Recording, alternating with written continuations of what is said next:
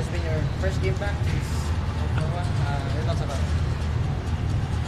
Um, yeah, first time playing five on five since uh, last conference, so uh, trying to get my rhythm and uh, my uh, my lungs. uh, but um, we, we we had some lapses on the defensive end, and uh, they exploited those, and, and they outplayed us, so we got the W. Before playing, how long have you, have you been practicing?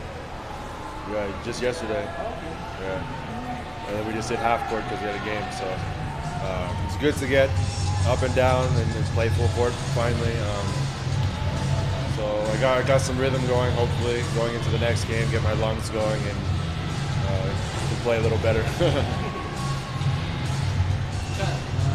uh, you wanted in your uh, first game here back in, here in the PBA. What do you think uh, is lacking with uh, NorthPort Third straight loss. um, gonna come together. We had some good spurts, but we didn't put the whole game together. And uh, uh, yeah, I gotta step up and, and get back uh, uh, and be ready for the next game.